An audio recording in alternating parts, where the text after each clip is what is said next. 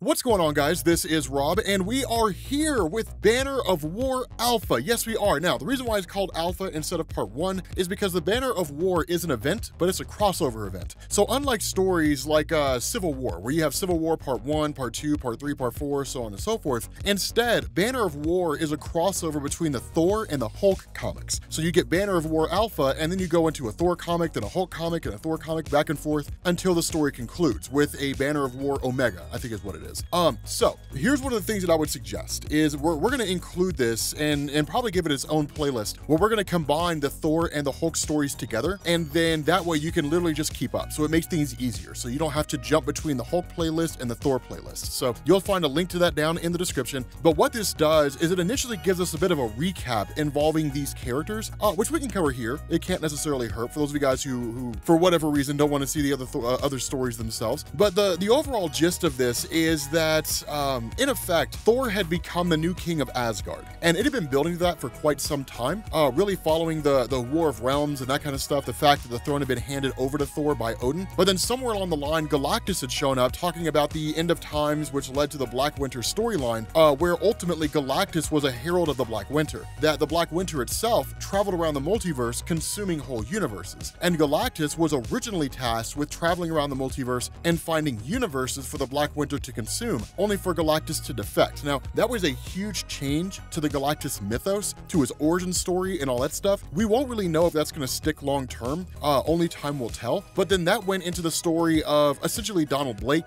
the idea that Donald Blake being the alternate personality of Thor had just kind of been chained in this alternate reality and things had kind of gone nuts and then ultimately he was defeated. But the bigger takeaway from this uh, is really the, the visions that Thor was getting and which ultimately Donny Cates seems to be building up to and him fighting his own hammer. The visions he was getting was basically Thanos with the destroyer armor, Mjolnir, which was covered in the Infinity Stones, which just sounds daunting as hell, and leading like an army of zombies essentially. And then of course, Thor having to fight his own hammer Mjolnir. So that was kind of his story arc. With Banner, it's a little more straightforward, but also a little more mysterious. That somehow in El Paso, 17 people died. We know by virtue of the ending of the last story, that's probably due to the Titan Hulk, but we don't necessarily know for sure. We're still waiting on an answer for that. All we know is that Banner being chased down by the Avengers just ended up escaping to an alternate reality and his story unfolded there. But the reality here is that these two paths are finally crossing with each other. Now the fights between Thor and Hulk are legendary. I mean, it's one of those hallmarks of Marvel Comics and the Thor and the Hulk mythos, right? That whenever any kind of a new story is told involving one or both of them, it's only a matter of time before they fight. It's like every time DC reboots, Batman and Superman always end up fighting somewhere along the line. Uh, so it's just one of those cool things that usually is just kind of a mythos of both of them. Whenever you're talking about a new iteration of a character, that's when you usually see that. So Thor achieving a new level of power, Hulk achieving a new level of power. It's really Marvel kind of got their finger on the pulse of the fan base who want to know how would Thor or Hulk be able to handle the new power of the other person. And so what you end up getting here is of course the fight breaking out between the two, again, kind of in this alternate dimension, because remember, Banner's sort of flying through the multiverse at the moment, uh, and they end up on a place called Sakreen, right? This alternate reality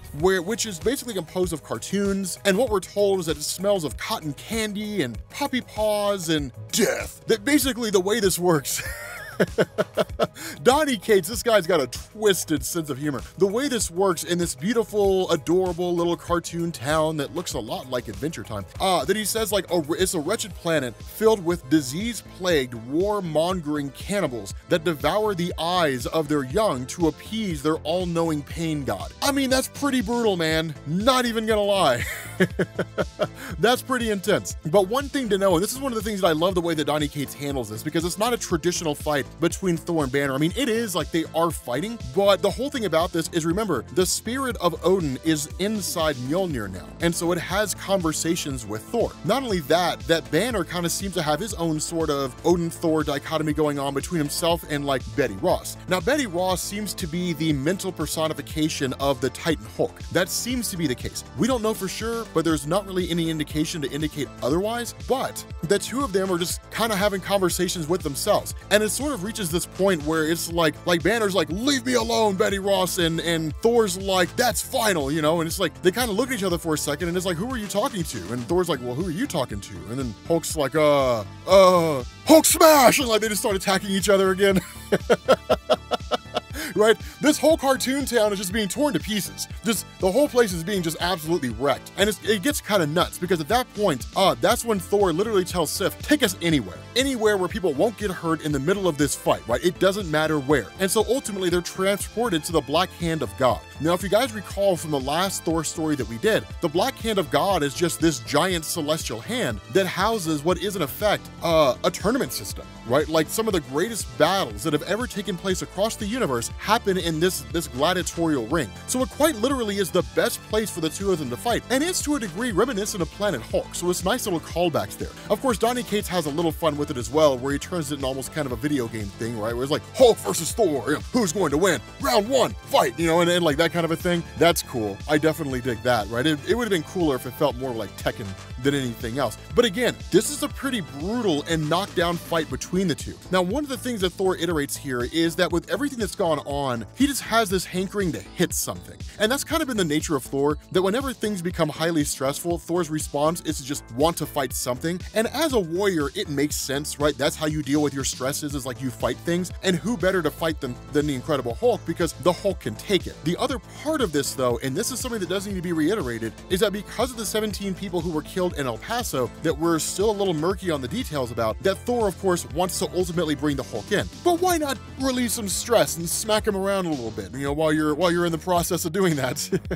and so what you end up having, this is one of the coolest changes that goes on here. And it's something that I don't think we've seen since the Peter David run, right? The Peter David days of uh, of the Incredible Hulk. That when the Incredible Hulk is pinned down by Mjolnir, the Incredible Hulk can't get past it, right? Remember, like the hammer cannot be lifted except by those who are essentially worthy. And that's where Thor kind of gets a little caught up with himself and starts talking to Banner and is like, I'm literally going to take you in. And so ultimately, Banner ends up kind of going into manual. Remember, Banner's psyche is the one that's essentially controlling the body of the Incredible Hulk. And the Incredible Hulk persona itself is in the engine room, essentially, fighting just these this constant onslaught of beings, which basically amps up the Incredible Hulk's anger or brings the Incredible Hulk down. And so what Banner ends up doing here is one, amping, the, amping everything up to level 8, which as you guys know from our previous coverage, the higher the level, the more extreme the threat. The angrier the Hulk gets, the more powerful he becomes. At the same time, what he also does is by going in manual, he's the one that fights. So it's almost like those Jaegers from Pacific Rim, which is really cool. Um, and that's when he's kind of warned, look, like you really shouldn't do this. Like we don't know what effect this is going to have in this situation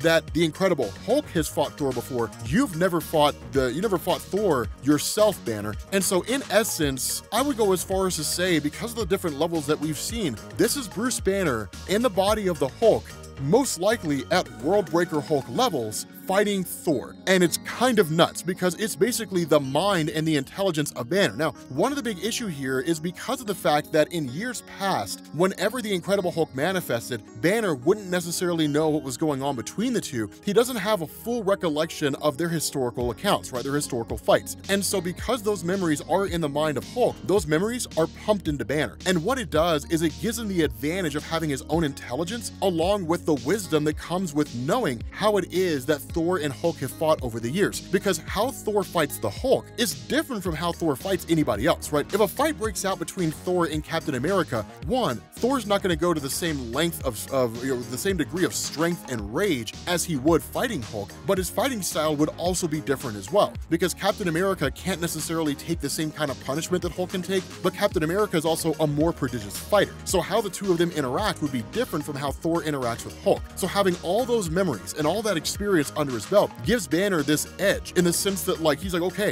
if I can't lift Mjolnir, then I'll just power through it. Literally pushes himself up and Mjolnir goes through him, guts and everything, just stuck to the ground and starts to heal himself. And then like one of the coolest moments, like he's drawn as like just this huge shadowy threat. He's like, Thor, pick up your hammer. And Thor's like, I. And like the two of them get into a fight. Because the reality here is it's kind of what they both want, right? Like they're literally both coming from a place where like they've just been through a lot of crap and they're just looking for something to hit. And they're there in a gladiatorial ring. And they just start smashing and fighting into each other. Now, one of the cool things to also know is that the Hammer of Thor, right? Odin's spirit is kind of feeding information to Thor as this fight goes on. And it's kind of like, look, I've got a lot of experience. You need to let me get involved in this. Thor's a little stubborn in the sense that he's like, no, I don't want to. Like, I want to just punch some things for a little while, kind of do my thing, but we'll deal with that later. What ends up happening though is the hammer, kind of with a life of its own, basically just flies up into the sky,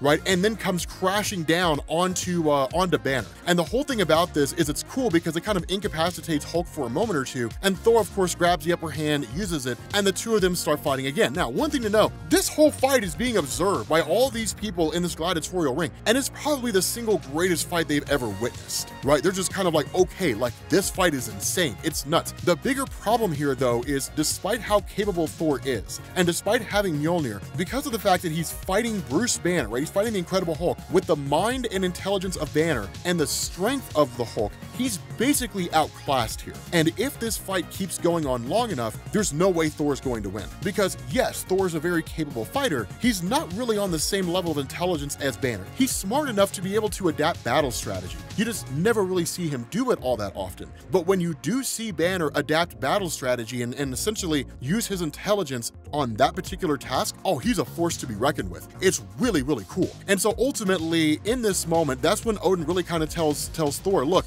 you cannot hold on to this battle long term. Not only that, when I struck uh, when I struck Banner, right, when I struck the Hulk, it wasn't like in years past where we've dealt with him before. There's something else here, right? He's not really possessed. It's more like he's haunted, but there's more in there than just Bruce Banner. Something else is going on here. You have to let me be involved, right? I have an idea. And so ultimately, Thor's like, okay, and Thor relinquishes, right? Throws the hammer at Banner, and the hammer literally just like crashes into Banner's face. And when that happens, it allows the spirit of Odin to leave the hammer and enter into the mind of Bruce Banner. And as soon as he appears, he was like, Bruce Banner, I would have words with thee. For the first time that I'm aware of in recorded history and Marvel Comics, Odin has invaded the mind of the Incredible Hulk and is now challenging Bruce Banner. I'm excited to see where this goes, man. I'm curious, right? I think I think Thor number 25 comes out next week. I think it's a weekly series. Uh, so we're gonna go, we're like, we're gonna do this as it comes out, right? We're gonna cover this as it goes through, but I'm excited.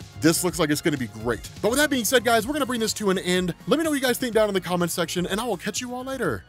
Peace.